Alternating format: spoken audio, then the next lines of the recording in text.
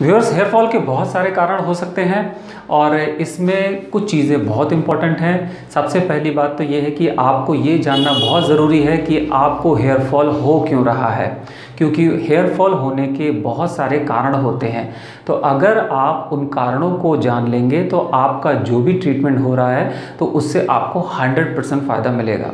Mostly ऐसा भी हम देखते हैं कि जो पेशेंट हेयर फॉल के लिए ट्रीटमेंट ले रहे हैं या फिर नॉर्मल कोई मेडिसिन बालों के लिए यूज़ कर रहे हैं तो उसके पीछे अगर उन्होंने ठीक से उन कारणों को नहीं जाना है तो हो सकता है कि आप राइट प्लेस पर नहीं पहुँचे हैं या हो सकता है आपका राइट ट्रीटमेंट नहीं है। तो आज हम ये जानेंगे इस वीडियो में कि आप किस कैटेगरी में हैं और आपको पता होना चाहिए कि आपका हेयर फॉल किस कारण से है।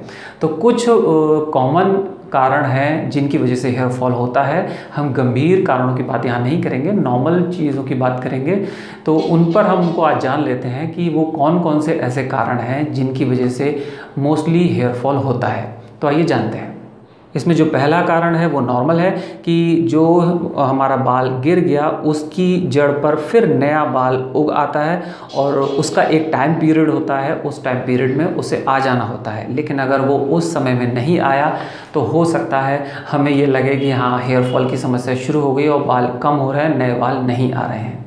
दूसरा है कि कोई गंभीर बीमारी या सर्जरी या कोई ऐसी घटना जिसका बहुत बड़ा असर आप पर हुआ है। और इस तरीके के केस काफ़ी हॉस्पिटल्स में आते हैं और जहाँ स्ट्रेस और डिप्रेशन के केसेस आते हैं, उसमें ऐसा भी देखा गया है कि हाईली डिप्रेशन में जाने की वजह से भी लोगों का हेयर फॉल शुरू हो जाता है। तो ये एक कारण भी है और डिप्रेशन में जाने का कारण कोई घटना भी हो सकती है या फिर ऐसा काम जो आप काम करने में सक्षम नहीं है और उस काम का आपके ऊपर बहुत ज़्यादा बोझ है। तो ये भी एक कारण इस हेयर फॉल का हो सकता है। महिलाओं से जुड़े हुए भी कुछ ऐसे इश्यूज़ होते हैं जिनकी वजह से उनको हेयर फॉल होता है। जैसे प्रेगनेंसी है या फिर महिलाओं में जो महिलाएँ बर्थ कंट्रोल करने के लिए जो पिल्स का यूज़ करती हैं, अगर उनको वो डिसकंटिन्यू कर देती हैं तो कभी कभी इस स्थिति में भी हेयर फॉल को देखा जाता है। और मैनोपॉज की स्थिति में भी कभी कुछ महिलाएँ कंप्लेंट करती हैं कि उनको हेयर फॉल हो रहा है।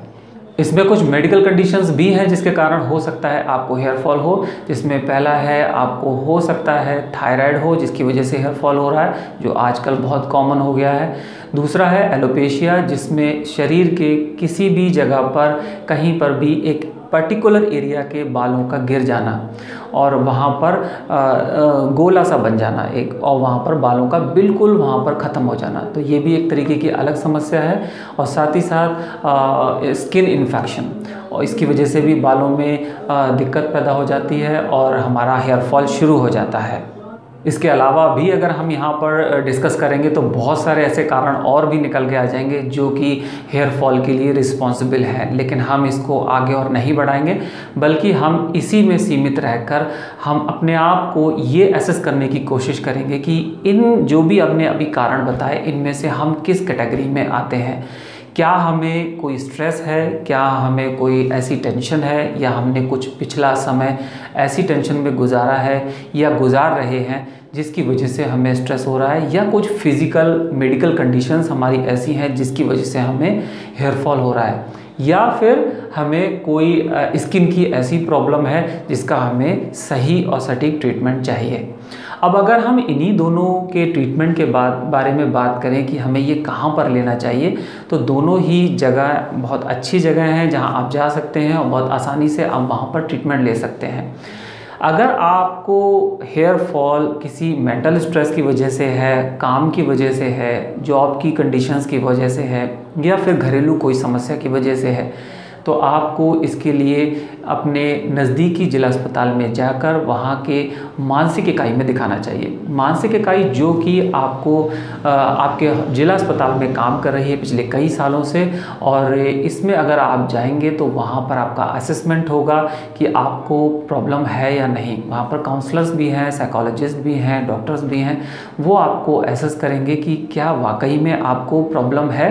अगर वहाँ पर प्रॉब्लम होती है देन वहाँ पर ट्रीटमेंट स्टार्ट होगा और वहाँ से आपकी एक तो स्ट्रेस की प्रॉब्लम सही होगी, साथ ही साथ जिस स्ट्रेस की वजह से आपका हेयर फॉल हो रहा था, वो ऑटोमेटिकली अपने आप आगे चल के धीरे धीरे ठीक हो जाएगी। सिमिलरली अगर आपको स्किन की प्रॉब्लम है, आपको लगता है कि मुझे त्वचा की कोई दिक्कत है जिसकी वजह से मुझे ये हेयर फॉल है तो सिंपली आप उसके लिए अपने नज़दीक के जिला अस्पताल में जा सकते हैं, वहाँ के स्किन डिपार्टमेंट में दिखा सकते हैं। अब ऑलमोस्ट जितने भी डिस्ट्रिक्ट हॉस्पिटल हैं, वहाँ पर आपको डर्माटोलॉजिस्ट या फिर स्किन स्पेशलिस्ट मिल जाएँगे।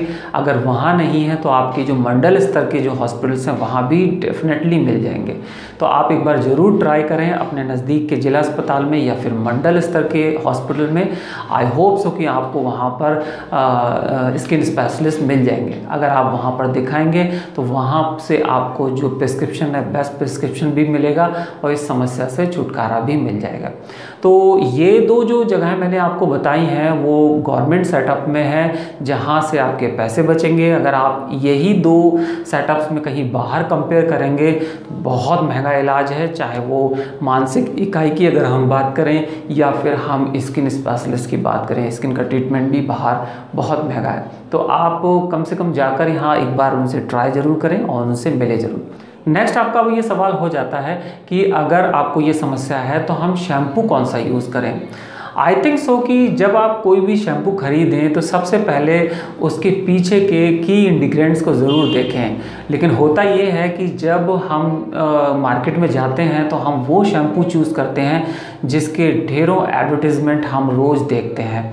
लेकिन कोशिश करिए नेक्स्ट टाइम से कि जब आप कोई भी शैम्पू ख़रीदें तो एक तो वो मेडिकेटेड होना चाहिए दूसरा उसके जो की इंग्रेडिएंट्स हैं वो अच्छे होने चाहिए। यानी जिस कॉम्बिनेशन से वो बना है उसमें केमिकल कॉम्बिनेशंस नहीं होने चाहिए। आजकल जितने भी शैम्पू मार्केट में भरे हुए हैं, उसमें ऑलमोस्ट ज़्यादातर शैम्पूज़ में केमिकल कॉम्बिनेशंस बहुत हैं। तो ये आपकी समस्या को बढ़ा देंगे। आपको कोई शैम्पू लगाने से कोई फ़ायदा नहीं होगा। तो आगे से ध्यान रखिए कि जब आप शैम्पू खरीदने जाएँ तो कोशिश करें कि आप एक ऐसा शैम्पू खरीदें जो आपके लिए ठीक हो। पर्सनली अगर मुझसे अगर आप पूछते हैं कि आपको कौन सा शैम्पू खरीदना चाहिए तो आई थिंक सो कि इस समय जो होम्योपैथी का एक ब्रांड है, जो विजल कंपनी का है, जिसका नाम अर्निका हेयर स्कैल्प शैम्पू है।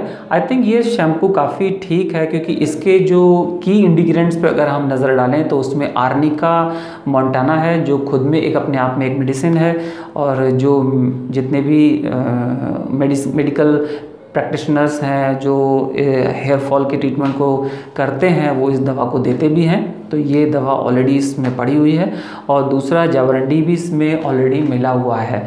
तो ये इसमें देख रहे होंगे आप, पीछे इसमें कोई ज़्यादा चीज़ों का कॉम्बिनेशन नहीं है।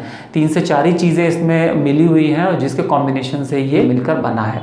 तो इसमें आई थिंक सो कि इस तरीके के ब्रांड को आप ज़रूर ख़रीदें और यही नहीं, अगर इस तरीके के कोई दूसरे ब्रांड हैं तो उन पर नज़र डालें और उनको यूज़ करें।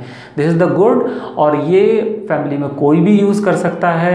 इससे अगर स्कैल्प की प्रॉब्लम है तो वो भी नहीं होगी, जो डंड्रफ की प्रॉब्लम है वो भी नहीं होगी। साथ ही साथ अगर हेयर फॉल है तो वो नहीं होगा। इसमें सबसे पहले आप देख, देखा होगा आपने आपके जो घर में शैम्पू रखे हो, आप उससे कंपेयर करिएगा कि उसमें और इसमें कितने केमिकल का जो मिलाव है वो है, जो आप शैम्पू यूज़ करते हैं, उसमें कितने तरीके के केमिकल हैं और इसमें कितने तरीके के केमिकल्स हैं। तो आपको खुद समझ आ जाएगा। मैं किसी दूसरे शैम्पू का यहाँ नाम नहीं लूँगा कि उसमें कितने केमिकल्स होते हैं। तो कोशिश करिए कि इस तरीके के आप ब्रांड को प्रेफरेंस दें। अगर आपको ये वीडियो सही लगता है या यहाँ पर दी गई इन्फॉर्मेशन सही लगती है तो आप इसको लाइक ज़रूर किया करें और साथ ही साथ इसको चैनल को सब्सक्राइब भी करें। आपके लाइक करने से हमें ये पता चलता है कि आपको ये वीडियोस कैसे लग रहे हैं और बूस्टअप एनर्जी भी मिलती है, जिससे कि हम अपने प्रोफेशन के साथ भी यहाँ पर इतना टाइम देते हैं। तो लगता है कि आगे अपने व्यूअर्स के लिए और भी कुछ करना है तो नेक्स्ट वीडियो में हम आपकी दूसरी समस्याओं पर भी चर्चा करेंगे और उनके भी बेस्ट सोल्यूशंस लेकर आएँगे till then see you in next video.